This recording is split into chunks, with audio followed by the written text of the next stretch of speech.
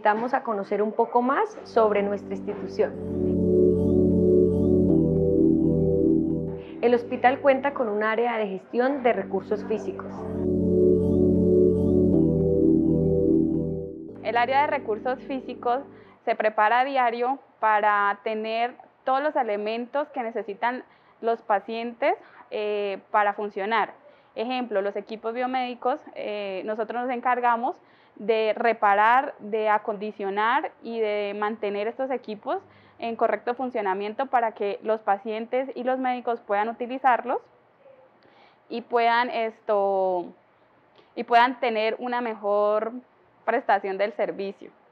Bueno, el área de recursos físicos va desde infraestructura, que es la parte física, puertas, bombillos, la parte eléctrica, que es esto, eh, que funcionen las áreas de, manera adecuada, o sea, que estén iluminadas.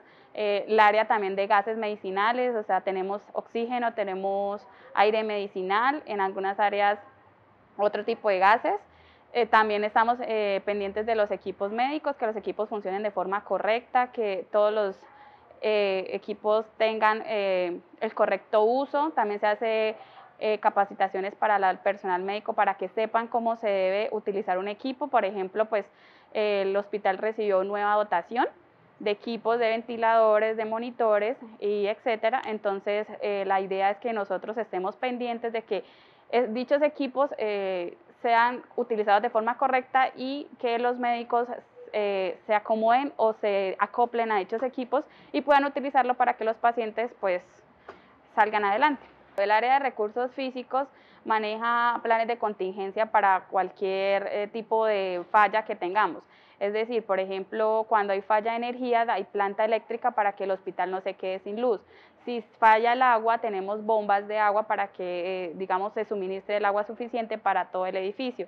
También tenemos gases medicinales eh, digamos, tenemos un tanque criogénico, pues es que, que es el que suministra el gas, el oxígeno medicinal a todo el hospital, pero en caso de que este falle tenemos un manifold eh, que eh, hace las veces de, de, este tanque y entonces si llega a fallar pues acciona y funciona de manera correcta, es decir, el hospital no, no, se, no se para por dichas cosas.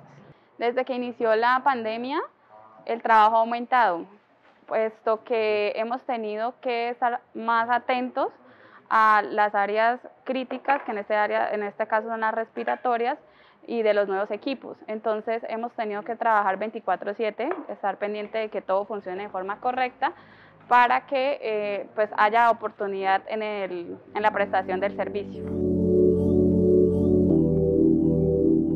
Tenemos un personal de siete personas cargo, tenemos dos personas que son auxiliares, un técnico industrial, un técnico electricista y dos ingenieros y un auxiliar administrativo.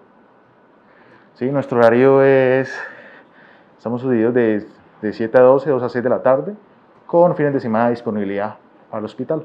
De nuestra función desde la coordinación se enfoca en apoyar, gestionar y verificar que el funcionamiento de nuestra institución sea un funcionamiento óptimo y adecuado, apoyando desde la parte de infraestructura, la parte industrial de apoyo y la parte de equipos biomédicos. entonces desde, esta coordinación y desde este departamento nos encargamos del funcionamiento total del hospital. ¿sí? Son funciones que nosotros hacemos de apoyo, los cuales que garantizan el funcionamiento de su oxígeno, el funcionamiento del agua, el funcionamiento de la red eléctrica, el funcionamiento de los equipos médicos. Nos encargamos de hacer los mantenimientos preventivos y correctivos que amerite la institución. Nos encargamos de hacer adecuaciones ¿sí? para nuevos equipos o nuevas instalaciones o nuevos servicios que se van a ampliar. Eh, procuramos siempre que el funcionamiento sea óptimo, ¿sí? verificando constantemente eh, tenemos rutinas de mantenimiento, rutinas de protocolarios, ¿sí? listas de chequeos que se hacen diariamente para que en un momento presente fallas. Es de resaltar que nuestra institución cuenta con equipo de apoyo, desde el, desde el punto de vista de oxígeno, que tiene su tanque criogénico y tiene sus líneas reservorias por emergencia, eh, presentando fallas de luz, tenemos dos plantas eléctricas de soporte para todo el hospital, eh, presentamos también una red de apoyo hidráulico con dos reservorios de agua suficientes para todo el hospital con su sistema independiente de bombeo. Y siempre procuramos tener siempre un backup, un respaldo para la mayor parte de los servicios fundamentales que cuenta la institución. Entonces siempre nuestra función es procurar que esos equipos, esos sistemas estén en óptimas condiciones, que no presenten fallas en el momento de que sean necesitados. Nos encargamos desde el punto de vista de hacer recargas, instalación de CPM, verificación de, de la entrada de oxígeno, ¿sí? verificar diariamente, constantemente, está verificando y chequeando que todos los sistemas estén en óptimas condiciones. El presidente de la Alianza o Asociación de Usuarios del Hospital Regional Manuela Beltrán nos comparte información importante para la comunidad.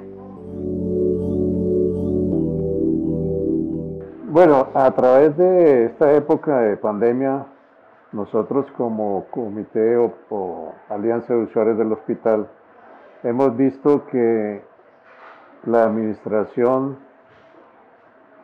se ha preocupado porque este hospital sigue siendo ejemplo en la región y en el departamento. Es así como gracias a la gestión que ha hecho nuestro gerente del hospital, eh, se han conseguido equipos, respiradores, se ha ampliado el número de camas de cuidados intensivos y se ha mejorado muchísimo la atención al paciente. Eh, realmente hemos visto en los buzones de sugerencias que las quejas y reclamos han disminuido sensiblemente gracias a la labor desempeñada por la Oficina de Atención a Usuarios presidida por el ingeniero Josué Cala, quien ha estado muy atento a diligenciar todas eh, las solicitudes que los usuarios manifiestan en, estos buzones. Eh, igualmente nosotros como Alianza de, Usuario, de Usuarios eh, y con el acompañamiento de Josué Cala hemos hecho eh, el seguimiento a todas estas quejas para tratar de que el hospital pues mejore cada día más su servicio y que el, paciente pues se sienta bien atendido. Lógicamente hay algunas cosas que hay que mejorar, el caso concreto de urgencias, pues siempre ha sido eh, donde más quejas se han presentado, pero que eh, debido al compromiso de los médicos, de los auxiliares, de las enfermeras, de todo el personal que labora allí, pues se ha venido ajustando y mejorando el servicio. Eh, igualmente, pues le solicitamos a, la comunidad y especialmente a los usuarios del hospital pues que también sean muy tolerantes, porque en ocasiones eh, la misma angustia que nos lleva eh, ir al hospital, eh, ser atendidos, de pronto pues esto nos desespera los ánimos y en ocasiones pues reaccionamos de pronto de una manera que no es la más conveniente. igualmente pues nosotros siempre hemos estado atentos para que tanto el personal médico, el personal eh, auxiliar y el administrativo, pues se sientan eh, respaldados por los pacientes porque eh, uno tiene que ser agradecido en la vida y presentar en su momento dado todas las inquietudes para el mejoramiento del servicio del hospital y para el, bienestar de todos los usuarios que vienen aquí a solicitar servicios de este centro de salud, que es eh, uno de los mejores de la región. Igualmente, pues hago una invitación a todos los eh, usuarios del hospital para que cuando necesiten acudir a estos servicios lo hagan de una manera confiada, porque aquí en el hospital se están llevando a cabo todos los protocolos de bioseguridad. En todas las dependencias eh, se, exige un estricto cumplimiento a esos protocolos y por eso no hay temor de que eh, cualquier persona que venga aquí sufra el riesgo de contraer el COVID. Lógicamente hay que tener todas las precauciones debidas, lavarse bien las manos, usar el tapabocas en su debida forma porque hemos visto en la calle muchas personas que utilizan el, el tapabocas no tapándose la nariz, sino por debajo del mentón, inclusive dejando al descubierto la boca. De igual manera, eh, siempre debemos andar con nuestro gel, con, nuestro alcohol y estar desinfectándonos. Cuando lleguemos a, nuestro hogar, pues eh, cambiarnos de ropa, hacer el, debido proceso de aseo, el baño. Y nuevamente reiterarles a la comunidad de que el hospital está eh, cumpliendo con todas las normas de bioseguridad y que es quizás de los sitios más seguros que, que tenemos actualmente. Aquí se llevan, vuelvo y repito, todos los protocolos estrictamente, sin ningún problema, sin ningún riesgo, para que todos podamos venir a acudir a buscar los servicios de salud aquí en el centro hospitalario.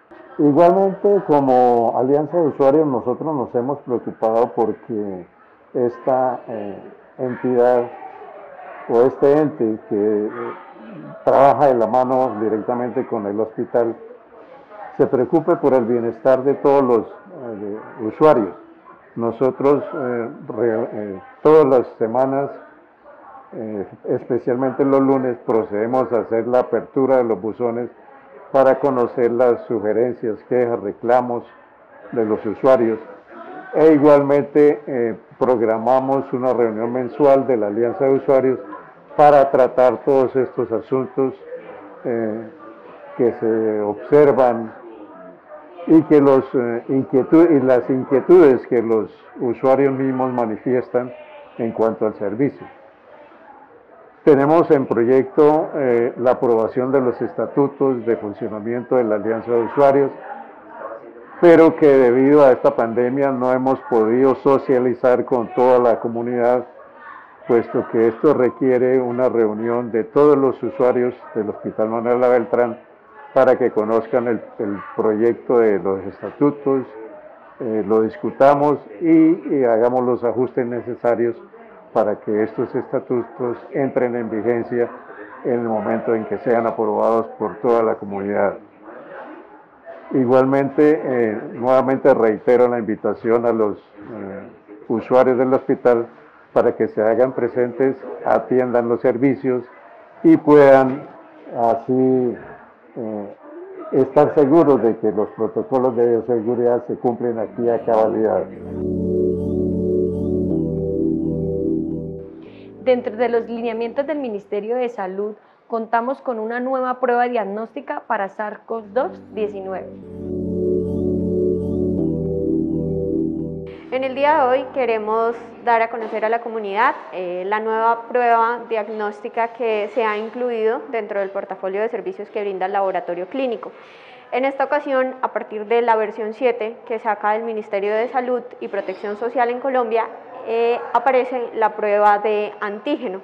Se hace mediante un hisopado nasofaríngeo y ese mismo día se da el resultado de si hay o no infección por el nuevo coronavirus. Eh, de igual manera, esta eh, prueba tiene ciertas indicaciones y es que se toma a los pacientes que están dentro de sus primeros 11 días de inicio de síntomas sugestivos de infección por COVID-19. De esta manera, el hospital quiere contribuir a que más personas tengan acceso a la prueba. Esta prueba, a partir de agosto, el Ministerio dio la indicación de que sea bajo prescripción o bajo orden médica. Entonces, anteriormente podíamos ir a cualquier laboratorio y decir, buenas, venimos a solicitar una prueba de COVID-19. A este momento, a esta fecha, el Ministerio dio unos lineamientos y ahora sí o sí se requiere la orden médica. En ese orden de ideas, el hospital está ofreciendo tanto la prueba de antígeno, que es mediante hisopado, como lo mencioné anteriormente, y la valoración inmediatamente y la orden, pues, por el médico, que eh, es el mismo quien va a dar la interpretación de estos resultados. Porque así yo tenga la prueba, obviamente eso va a necesitar una interpretación por el personal médico. Por eso no se puede hacer así como libremente como se venía haciendo.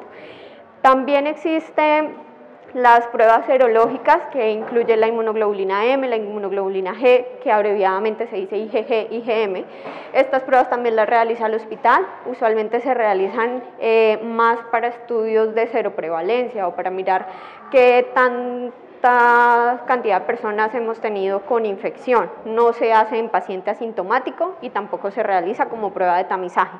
Y finalmente también pues, se ofrece la que siempre ha existido, que es la PCR, eh, esta prueba sí se toma acá mediante hisopado o aspirado nasofaringeo o orofaringeo y se envía a la ciudad de Bucaramanga, que es donde están los laboratorios que hacen este procesamiento de esta muestra.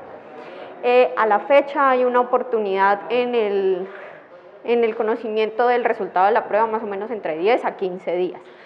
Entonces, eh, la invitación es pues a que conozcan estos servicios que, oferta el Hospital Regional Manuela Beltrán. Tienen un costo, eh, lo que es las pruebas serológicas, 100 mil pesos, la prueba de antígeno 160 mil pesos y la prueba de PCR está con un costo de 373 mil pesos, pero eh, con la salvedad, como les mencionaba anteriormente, que hay una valoración médica incluida en este costo. Obviamente estas pruebas si se realizan eh, pues van a requerir el aislamiento. Eh, lo que es antígeno y la prueba serológica el mismo día dan el resultado, por lo tanto no va a afectar tal vez la productividad en el trabajo. Cabe resaltar que eh, en los sitios donde uno vaya a trabajar no es necesario que le pidan a uno la prueba antes del ingreso a ese trabajo, según el último lineamiento del ministerio. Conozcamos más de la incidencia psicológica de la pandemia en la comunidad.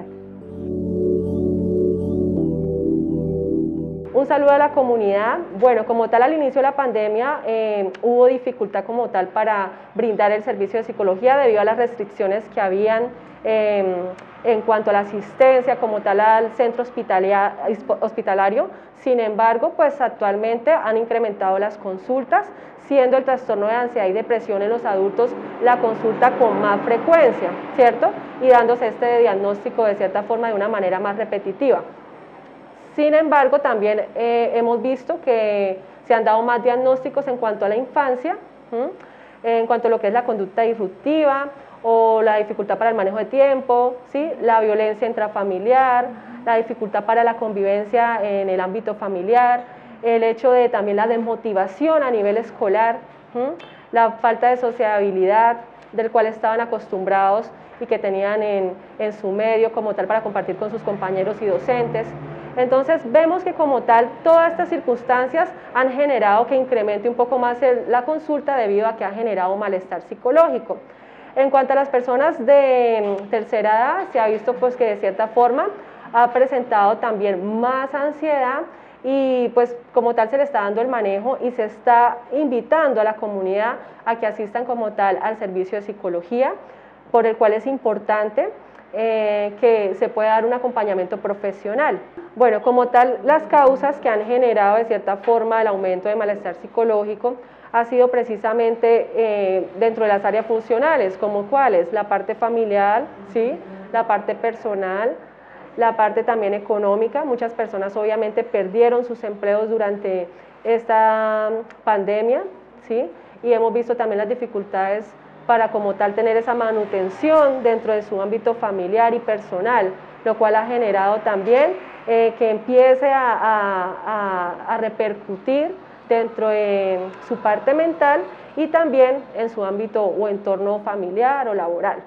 Como tal, entonces en los niños vemos que se ha dado este cambio también y ese choque emocional debido también al no manejo de tiempo. ¿sí? Si nos damos cuenta, han estado toda la mañana en clases virtuales, ya no tienen la oportunidad de compartir con sus compañeros, ni que el profesor esté sociabilizando con ellos. Entonces, de cierta forma, viene a haber esta ausencia del cual se estaba acostumbrado.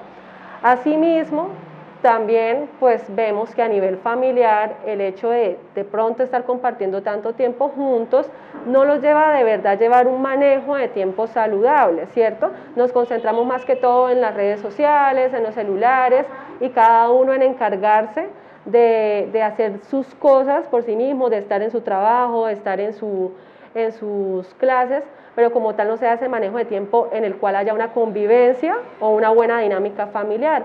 Por eso es importante que los papitos como tal no solamente acompañen al niño y distribuyan su tiempo de una manera adecuada, ¿cierto? La distribuyan de esa manera que así como están en clases con ellos, también puedan empezar a tener de cierta forma unas eh, maneras didácticas para compartir con ellos, ¿sí? Salir a caminar, salir de ejercicio en el tiempo establecido que, que, que permite como tal para tener esa salida de, de ejercicio. Asimismo, también generar didácticas que en Internet pueden buscar cantidad de didácticas, juegos de mesa o juegos que puedan ayudar a estimular la parte cognitiva o motora. En cuanto a eso también generar un poco más el vínculo afectivo. Si normalmente se estaba acostumbrado a trabajar pero no compartía con el hijo, pues es el momento de aprovechar para que precisamente puedan tener ese acompañamiento y generar esa relación afectiva que debe haber para que entonces vaya a haber más confianza y un mejor ámbito familiar. En cuanto a la parte adulta, lo que es la ansiedad y la depresión, bueno, muchas veces se trabaja desde la parte psicológica dependiendo de cómo la persona esté presentando esa sintomatología y en caso tal de que pues no se pueda... Eh, no se puede dar como un efecto tan rápido, podemos manejarlo de una manera interdisciplinar, con ayuda también de psiquiatría. Em, sin embargo, mucha gente, mucha gente le tiene miedo de cierta forma al manejo con psiquiatría y psicología, pero ahí es hora de empezar a quitar esa estigmatización en cuanto a los profesionales de la salud mental. Em, asimismo, pues eh, yo entiendo perfectamente, todos entendemos que la parte económica es algo en realidad que es momentáneo, la pandemia es algo momentáneo, pero no va a ser para siempre. Eh, hemos escuchado igual en los medios que se va a volver a, reactivar la economía, lo cual en muchos ha generado más esperanza y pues puede empezar a volver a tomar como tal la rutina del cual se está acostumbrado. Es importante detectar también la sintomatología de la ansiedad y la depresión. Si usted, por ejemplo, se siente ansioso, que ser ansioso no es estar angustiado, sino que usted en esa angustia como tal lo que presencia es que tiene preocupaciones totalmente excesivas todo el tiempo y tiene más encima reacciones fisiológicas como tensión muscular, tiene dificultad para conciliar el sueño, tiene cefaleas, dolores de cabeza constante, aceleración del ritmo cardíaco, inquietud motora. Todo esto como tal puede ser sintomatología de que usted está presentando una ansiedad. Ya si usted se ve muy depresivo, la depresión como tal es ya cuando usted tiene un estado melancólico con un estado de ánimo bajo totalmente todo el tiempo y empieza a haber aislamiento, empiezan a haber pensamientos negativos, empieza a haber esa pérdida del apetito, por lo tanto entonces se va a ver reflejado en, en bajo de peso. Entonces, si vemos toda esta sintomatología y también irritabilidad con los demás, debemos acudir como tal a la ayuda profesional. ¿Listo? En cuanto a eso, aparte de la ansiedad y la depresión, que es lo que más se ha dado dentro de esta pandemia, que es como la consulta o el diagnóstico que más se ha dado por parte de psicología y psiquiatría, también vemos que eh, se está presentando en los adultos de cierta forma ese sentimiento de soledad, de aislamiento y em, de restricciones y también pánico y miedo a salir por el miedo a estar contagiados. Entonces, eh, de cierta forma, el Hospital Regional Manuel Beltrán les, les brinda la seguridad de que puedan venir como tal a las consultas y que en caso tal de que sea difícil o que usted resida en otro municipio o que de cierta forma quiera restringirse de salir a exponerse eh, por el contagio, puede hacerlo también por telemedicina, del cual podemos hacer la consulta por llamada de voz o por videollamada, o si no por un sistema que como tal nosotros tenemos instaurado para hacer las consultas. En los jóvenes como tal hemos visto más que todo consultas por intento de suicidio, lo cual pues el, generador de esto es un trastorno depresivo. Y aparte de eso vemos también que se ha aumentado, ha incrementado el consumo de sustancias psicoactivas. Eh, esto como tal, pues podemos llevarle un manejo ¿sí? a nivel psicológico y a nivel psiquiátrico y también dentro de esto pues recomiendo como tal en primer lugar el acompañamiento familiar. ¿Cierto? Más que el juzgar a la persona que esté vivenciando un trastorno, es más que todo el acompañamiento y posteriormente acudir al apoyo profesional. Los estudiantes de enfermería nos comparten información importante sobre diferentes enfermedades y tips para prevenirlas. La temática que les voy a hablar hoy es sobre la exposición rábica. ¿Qué es la exposición rábica? Es cuando una persona ha sufrido una lesión por agresión por un animal potencialmente transmisor del virus de la rabia. ¿Cuáles son los síntomas de esa persona expuesta al virus? Alucinaciones, convulsiones, parálisis, eh, pérdida de la memoria y me puede generar la muerte. ¿Cuáles son los síntomas de un animal expuesto por la rabia? Parálisis, convulsiones, salivación excesiva, pelo erizado y, me puede y esto causa la muerte. Los tipos de exposición al virus son exposición leve, que es la, es la mordedura única de una parte cubierta del cuerpo que no produce sangrado. La exposición grave es la mordedura en cualquier parte del cuerpo y que me genera sangrado. Y la exposición no al virus es la mordedura de un animal que se encuentra certificado con la vacuna contra la rabia. ¿Qué hacer cuando un animal muerde a una persona? Primero, debemos lavar la herida con abundante agua y jabón. Este procedimiento se debe realizar tres veces. Segundo, no se debe cubrir la herida. Tercero, debemos identificar el animal que mordió a la persona y cuarto, asistir al centro de salud. Recordemos que para prevenir el virus de la rabia debemos vacunar a nuestras mascotas cada año contra el virus de la rabia.